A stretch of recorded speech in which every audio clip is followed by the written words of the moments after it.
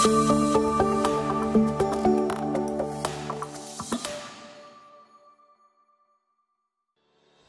and welcome to another TA Tech Tip. In this tech tip, we'll discuss how to install the LED photocalorimetry accessory for the Discovery DSC. The LED photocalorimetry accessory is used with the TA Instruments Discovery differential scanning calorimeter. This accessory allows samples to be irradiated with single wavelength ultraviolet or visible light inside the DSC cell.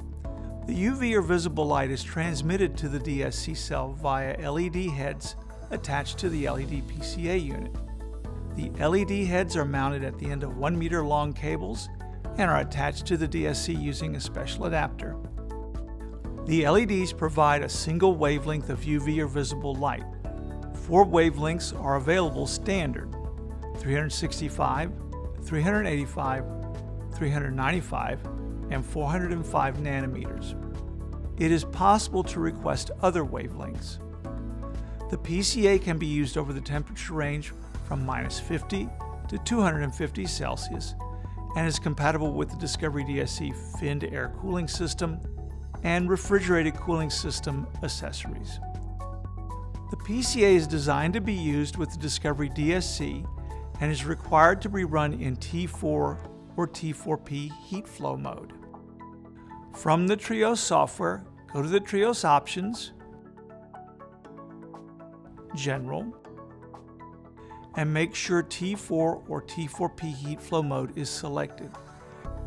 Make sure PCA enabled is checked.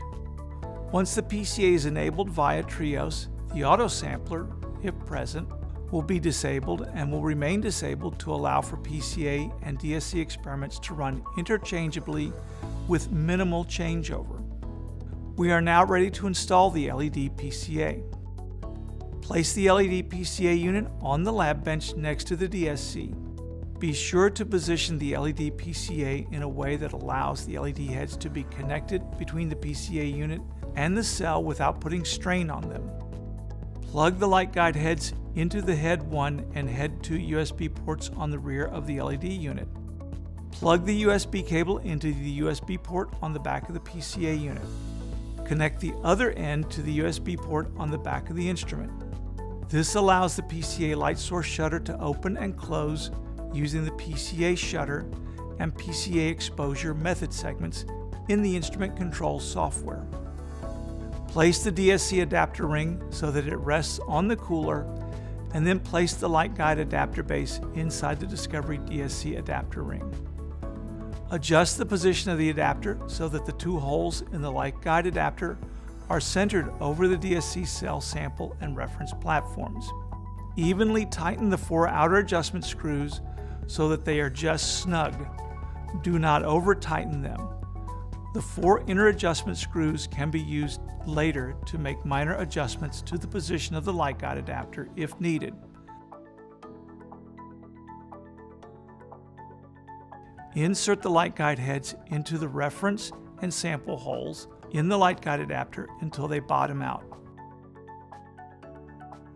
Tighten the set screws to hold them in position.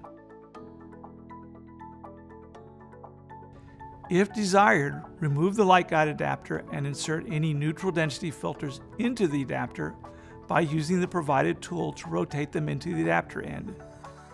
Screw the neutral density filters all the way into the adapter until they stop. Replace the light guide adapter into the light guide adapter base. Plug the LED PCA power cord into the back of the LED PCA unit. Plug the other end into the appropriate power. Turn on the LED unit. No warm-up time is necessary.